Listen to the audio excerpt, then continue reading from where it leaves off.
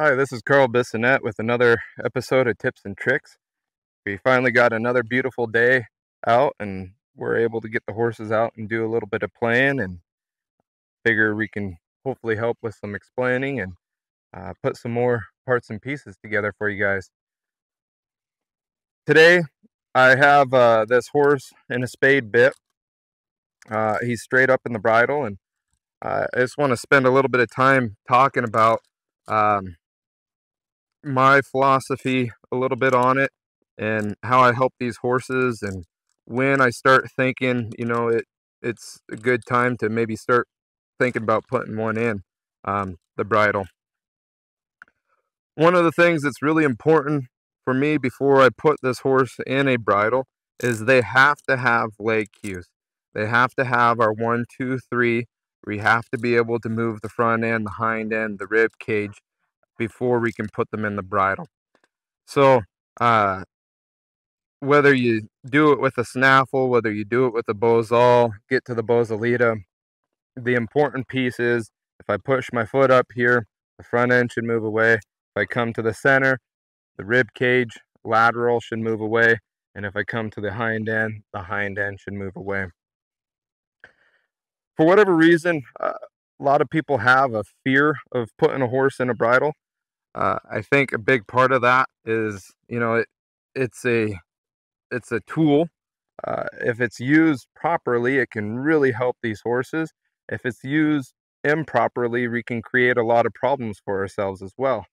Uh, that being said, spurs are, you know, just about the same thing. I've seen people ruin a horse with spurs, uh, but if you look at the top level trainers, uh, they're going to be using spurs uh, because they can get that much more precise with their cues. And I kind of uh, view the spade bit kind of in that similar similar sense that it allows me to get a lot more precise with my cues and help that horse out just that much more. Uh, one of the the differences with like the Bozal, uh, I always tell people it's an on off on off on off as you work to the spot that you want to get to. With the bridle, you can still do that on off kind of sort of deal. Uh, but once I get a horse to the bridle, I tend to, and this isn't always, but I tend to set my pressure. And then if that horse doesn't respond to that pressure, then I'm going to use the spur until the horse softens up to that pressure. And once the horse softens up, then we'll release them. So whatever the maneuver may be, whether it's the hind end or the front end, it's that same idea. I'm to first start with my neck rein. This horse should be kind of coming around with the neck. He's not. So now I'm just to lightly pick up on that inside rein and I'm to bump with the spur until he's arching his head to the inside of the circle. There. And I can release that rein.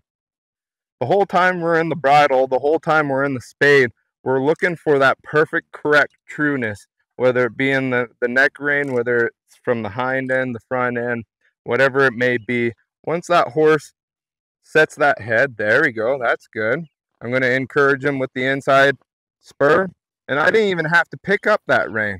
If he does it right, we're going to leave him alone. If he comes to the outside just a little bit there, I lightly pick it up. And I'm going to bump that spur until he brings the head to the inside. Then I'm going to hold that inside pressure with my calf expecting him to stay right there in that smaller circle. Stepping around, stepping around, stepping around. Good. Ooh. He didn't stop right away, so I'm going to give him a couple bumps, bump, bump, bump. Remind him every single time when we stop, it better be crisp, better be kind of thinking about pushing his hind end underneath. When I say that word, we want to see the response. If there isn't, then we're going to bump, bump, bump, and cue that horse and let them know that they they need to listen. Okay very nice. Neck rein. I'm going to test it with the spur just a little bit. There we go. Okay now that this horse is coming true to the inside i'm going to take that spur off. I'm going to come up here and right there that horse tipped his nose to the outside so i'm going to set it to the inside. Keep my front cue front cue, front cue, front cue, front cue. Stay in that turnaround. just a little bit of neck rein, just a hair off center. Ooh. Till that horse gets comfortable in that turnaround without any effort on that neck rein. That was very nice. We'll check this other side. come in here first. Okay. Check the other side. One of the big differences with these spade bits versus, you know, another tool is, you know, I really think about when I'm telling new people that are working it for the first time. One of the things that I think a lot of new people have to make an adjustment to is whatever your cue is, you have to think a lot slower on your cue.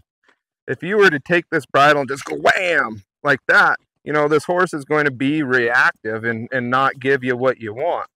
But if you give them a chance to be right, if you slow that cue down, uh, then a lot of times they can find that spot pretty good. Okay. So now we got him walked out a couple steps. We're going to hold this inside. We're going to push it to the inside. There, he's not breaking. He's just traveling forward. So I'm going to help him. Again, I'm going to hold this pressure. I'm going to bump the spur until he releases that head. He's keeping the head to the inside. He's keeping that circle. He lost the circle. So we pick that rein up.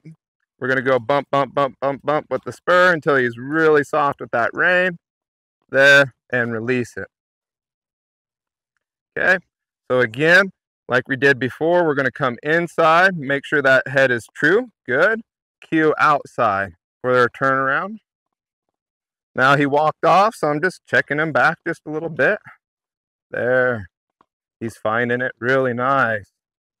Pushing that head down and low. Still traveling, still traveling, still traveling, still traveling. Whoa. Okay. Very clean, very nice. I like all that. For my backup, I'm going to start off with my cue. My cue is kind of waving those legs a little bit. And there, he already picked up a step. I even have to pick up the reins. That's what we want to see. If I wiggle those legs, doesn't come back. So now I'm going to pick up that and just kind of lightly bump in that cadence with that footfall. Bump, bump, and stop there. Now, if I want to encourage that, responding off those legs, okay, I'm going to start with the legs. He doesn't move back, so I'm going to move him back, okay. Now, instead of getting the release on the back from the bridle, we're going to keep that bridle set and we're going to quit waving. Keep that bridle set and then start waving again. And that will help that horse build that association to when we're waving the, the legs out um, that they're going to come back. That was very nice.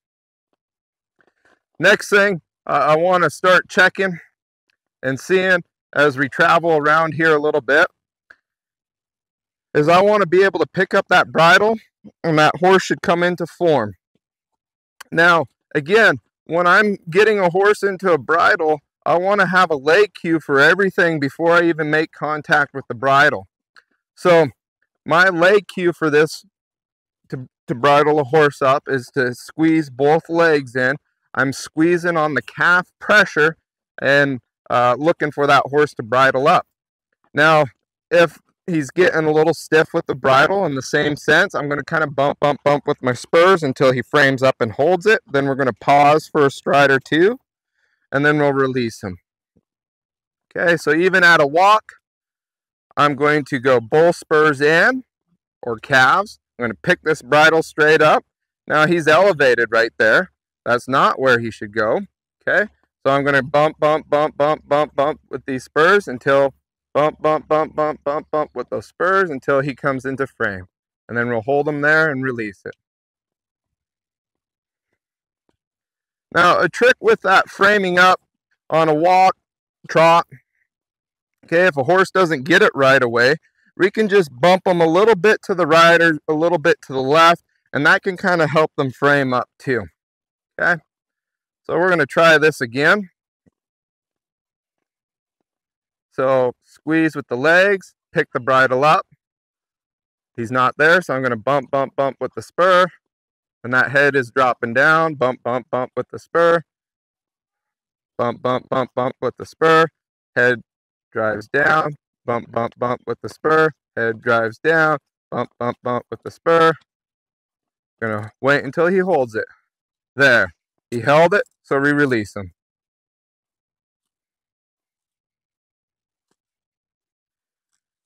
When we're working these bridles, you know, I'm really, I think it's really important, you know, to start that horse off at that walk. Make sure all those cues are there. And before we even move into the trot, then we move into the trot and we're going to do the same exact measure or same exact schooling. Make sure all those buttons are there. Now, this time I'm going to do it a little bit different. I'm going to pick up on the bridle get that horse soft and then I'm going to take my legs off and I'm going to expect that horse to just stop in his tracks. So again, we're going to bridle up, legs, bump, bump, bump, lift it up until he bridles up. Once he's holding it, once he's holding it, we're just going to take those legs off, expect to stop, wave them, see if we can get a couple nice clean steps. Okay, not changing the bridle at all. Very nice. We'll let him relax. We'll let him check that out, and he's doing really good with it.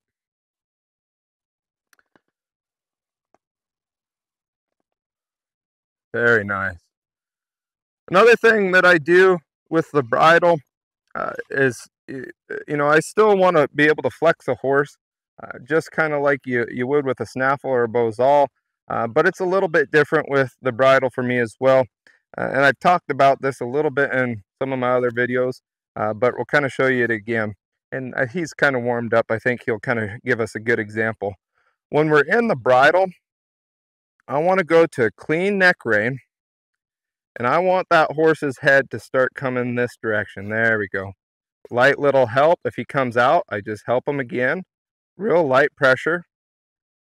Comes out, help him again. Help him again. There, until he holds it. And I want to release on the neck rein.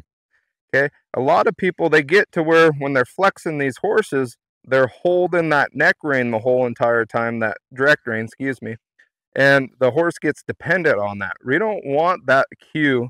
We want the cue for that flexion to be once that outside rein touches his neck. There. So that being said, when we do those flexions, it's really important that we're direct about it. Ooh, there. Oh, just a little bit of a feel, and he started coming around that direction. When I'm in this bridle, I really do try to challenge myself and I, I see how little pressure does it take to, to get that horse to accomplish that cue. And look at that. He's trying hard that way. I want just a little bit more. Okay, so I'm going to jiggle that just a little bit more. He comes out. I catch him. Jiggle it a little bit more. There. He held it. Really nice. We'll leave him be. We can do this uh, you know, sometimes I'll go right, left, back and forth. Sometimes I'll work on this one side a couple of times.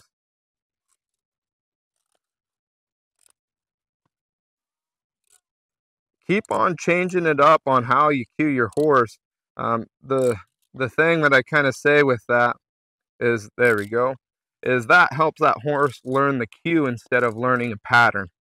Um, we don't want the horse thinking that every single time we flex three times this way, four times that way, and then we walk off. Pretty soon you do that enough times and you flex three, four times this way, three, four times that way, and walk off. Horse is going to walk off before you cue the horse to walk off. We want them listening, paying attention, and no matter which direction we go, we want to see some try, some effort. There we go. Very nice. And we'll release that. So again, when it comes to working a bridle, it's not that scary of a thing. Um, it might not be perfect the very first time for you, but again, I just I, I couple really important things there. You know, slow that cue down. Make sure that you have the leg cues. Can you cue this hind end? Move this hind end. Okay. Can you cue the front end and move the front end? Okay. If you can't do those things, then being in the bridle might not be quite the right time yet. Okay, same deal, come into the center, pick both reins up. Okay, and that horse needs to be able to come into our laterals. We have to have all those buttons before we can put a horse in a bridle. Once they're in a bridle, pretty much all that the bridle is telling them is is more of a, a it's not a hundred percent, but it's more of a straight forward and back kind of sort of cue. So if I cue this horse here and he walks off, I'm going to stop him, slow him down, okay, come back to that cue. And then he's like, oh yeah, that's right. That spur up there means come around, okay. The direction isn't necessarily off the rein, the direction's off the spur. Okay, so if we cue the spur up here, that means turn around, turn around, turn around, turn around. If we take that off, come inside, that means walk a circle, walk a circle, haven't even changed the rein. And then if I come to the center, that means side pass. Haven't really changed the rein much, okay? So that's what it takes to get a horse in the bridle. That's what it, uh, in my opinion, helps them learn how to be there and understand when, when you transition them into the bridle, it might not be perfect. You might have to help them out. You're going to have to teach them. That's part of being a trainer is you you show them the correct place to be. If they bring that head up, you know, just keep working it until they bring that, that head back down. And, and pretty soon they pick it up, they figure it out, they learn how to pack it. And in a lot of cases, you know, this can be a, a lot more gentle approach to it than than what a lot of people think and realize. And uh, that bridle will kind of soothe their mind a bit and slow his mind down a little bit. And that's what's allowing him to really think about my spur pressure and, and get that much more correct on it. Um, again, that's Carl Bissonette, tips and tricks. I hope that kind of helped you out a little bit and takes a little bit of that fear of, of having one in the bridle. It's, you know, it's not a big scary thing. Yes, you know, it needs to be approached correctly, but if you approach it the correct way, if you show the horse where to be, uh, you can accomplish a lot of great things with it. So again, thank you.